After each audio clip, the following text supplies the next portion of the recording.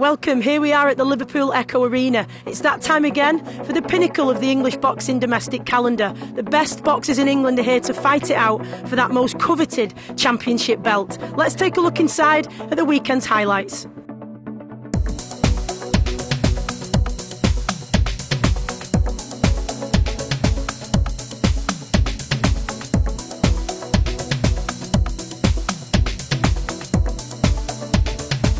Here we are at the Liverpool Echo Arena. Once again, it's time for the England Boxing Elite National Finals Day.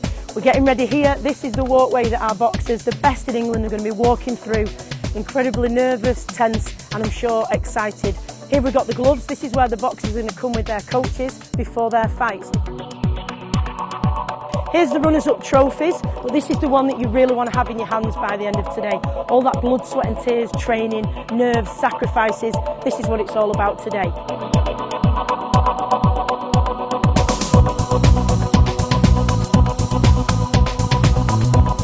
In the men's 49 kilo category, there was a major upset where Kiaran MacDonald beat Sunny Edwards. It was a very, very close affair with Kiaran just taking the decision with some quality finishes and clean shots. Here's what he had to say after the fight.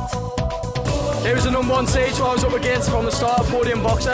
I kind of grabbed me, but one of the best lads I've shared the ring with. It was an incredibly controlled performance. You were patient, you were composed. Was those the tactics going in? Yeah, them were the tactics. Obviously, he's a good counter punching boxer, so if you just go and rush into him, he's just going to kick you off all day. There's a few times in the fight when he, he thought he was going to get that way, but I uh, quite composed and pulled off. Well, you certainly made it worth the while. Fantastic win today, and congratulations.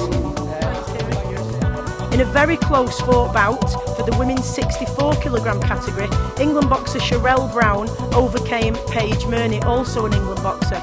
It was a close affair, but Cherelle, with that little bit of flair and skill, was able to take the victory and impress the judges to get a split decision. Clearly delighted with the victory, here is what she had to say after the fight.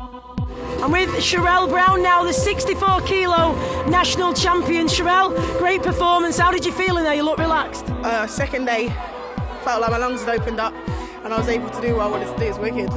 and we even saw what used to be the Ali Shuffle, which we should maybe now call the Cherelle Shuffle. oh no, we can still call it the Ali Shuffle, but there's a few people here, including yourself, partner and close friends, men's 75 kilogram category was one of the most anticipated matchups of the day. In an enthralling encounter, Jordan Reynolds came flying out from the first bell but Benjamin Whittaker was able to adjust and use his range to dominate from the centre and take the victory. Here's what he had to say after the fight. I knew he was going to come for it.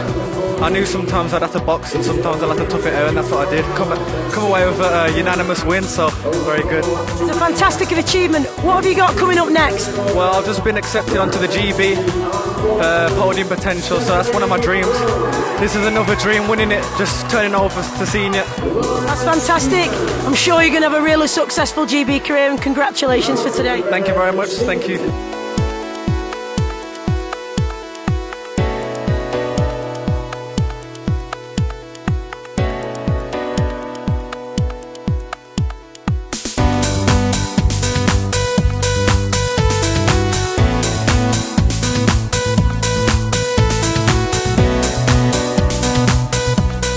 As you can see, everybody's packing up behind me here because that brings us to the end of the 129th English Boxing Championships. There's been dramas, there's been victories, blood, sweat and tears as always, but the future certainly looks bright for England boxing. Please make sure you follow us on our social media sites. All the fights are available online and we'll see you next year. That's all from us. Thanks for watching.